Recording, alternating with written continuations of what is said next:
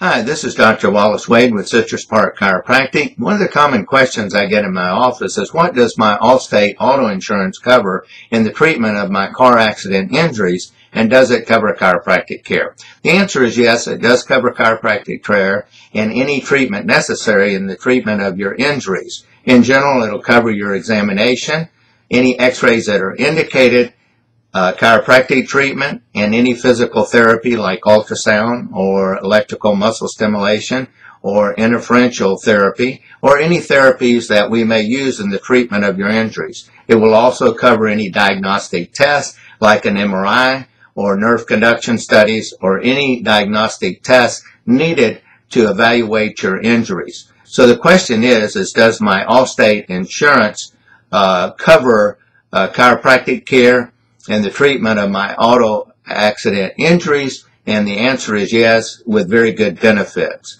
In general, you will only have a copayment or a co-insurance that will be your cost. However, if you're not the at-fault driver, uh, that bit can be collected directly from the at-fault driver's car insurance, and my office will help you with that. If you'd like to make an appointment, please call my office at 813 265 4135. That's 813 265 4135. Or you can visit my website for more information at citrusparkchiropractic.com. That's citrusparkchiropractic.com.